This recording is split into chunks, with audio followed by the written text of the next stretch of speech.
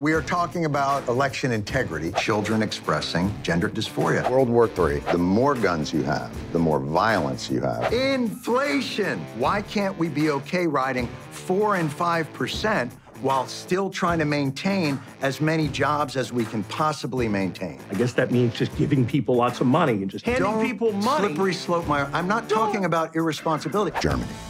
Any concerns there about getting them back in the game? 98% of the young people who have gender dysphoria, they are able to move past that Wow. without uh, that medical treatment. That's an, that's an so- incredibly made up figure. You don't mind infringing free speech to protect children from this amorphous thing that you think of.